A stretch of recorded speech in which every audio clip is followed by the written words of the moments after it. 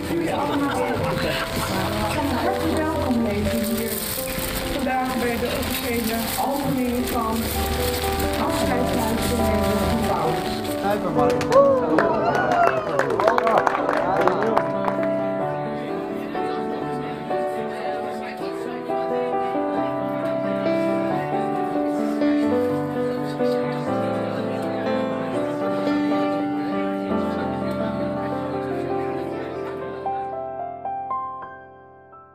Ik merkte in mijn werk ehm, dat, eh, dat eh, er een tekort bestond aan opbaarfaciliteit hier in Baren, met name voor mijn eh, werkzaamheden.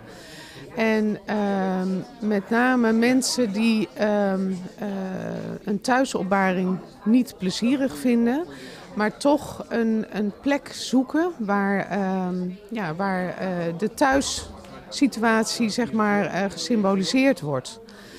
En twee jaar geleden ehm, kwam ik op deze plek, de herberg, en ik denk dit is het. Ik ben de, de samenwerking gaan zoeken.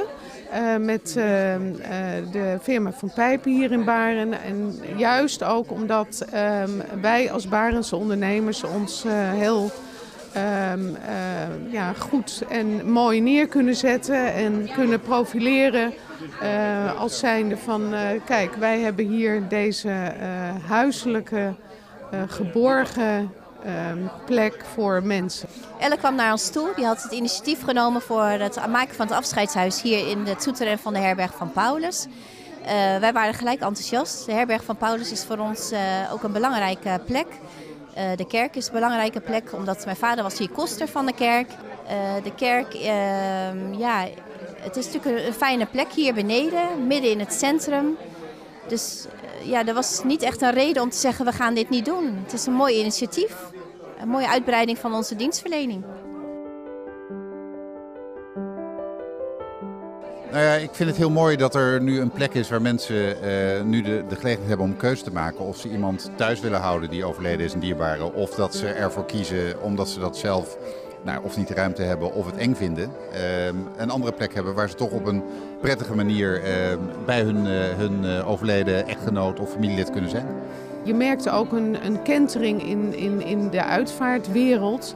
Dat ehm, de geborgenheid, de intimiteit, de, eh, het, ehm, ja, het bij, bij je, bij eh, eh, dierbaar het kunnen zijn. ehm, dat, dat, dat wordt steeds belangrijker eigenlijk. Hè? Het, het op je persoonlijke manier het afscheid kunnen nemen. En dat kan ook in deze ruimtes. Eh, omdat eh, mensen kunnen het ook nog inrichten verder. Hè? Naar wat past bij hun overledene en wat past bij de, de dynamiek van een, een gezin, van, van iemand. En, ehm, nou, dus dat, dat is wel heel mooi. Ik denk dat het een enorme aanvulling is voor Baren, voor, ehm, ja, voor, eh, voor toch heel veel mensen die zich afvragen van hoe moet mijn uitvaart er eigenlijk uit gaan zien.